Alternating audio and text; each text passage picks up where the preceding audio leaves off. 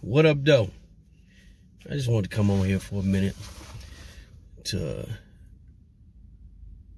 address this coronavirus virus pandemonium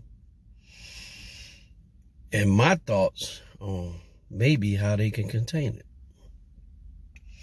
I ain't trying I ain't I ain't saying this to try to be funny or nothing like that, but this is a serious thought.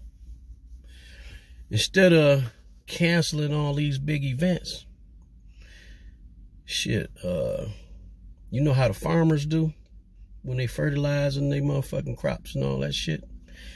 I say let all these goddamn events take place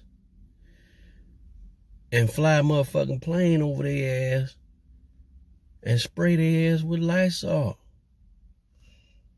Whoever in that motherfucking crowd that got that virus, maybe it'd kill that motherfucker. That's all I'm saying. Let me know your thoughts. Fly motherfucking one of them damn fertilizer planes over these goddamn events, Coachella, the motherfucking St. Patrick's Day parade, whatever, wherever motherfuckers is hanging out at, fly motherfucking plane over there with full of Lysol and just drop it on their ass.